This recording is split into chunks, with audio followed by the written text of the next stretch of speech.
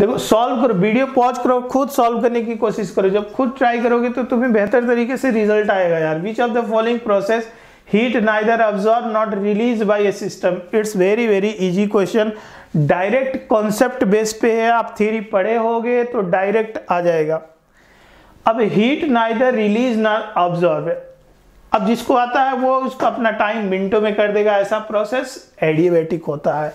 एडिएबेटिक process एक ऐसा process होता है जो जिसका वॉल कंप्लीटली इंसुलेटर होता है परफेक्ट इंसुलेटर होता है और प्रोसेस बहुत ही फास्ट होता है, जिससे यहाँ से हीट एक्सचेंज होने का टाइम ही नहीं मिलता भाई। Delta Q is equal to zero ऐसे प्रोसेस को आइडियोबेटिक प्रोसेस बोलते हैं। आइसोबेरिक प्रोसेस आइसोबेरिक प्रोसेस में pressure remains constant isothermal process में प्रेशर चेंज ज़ीरो आएगा टेम्परेचर चेंज ज़ीरो आता है, ठीक है? आइसोकोरिक प्रोसेस में वॉल्यूम चेंज ज़ीरो आता है, ठीक है? तो ये सब चार हमारे पास स्पेशल प्रोसेस है।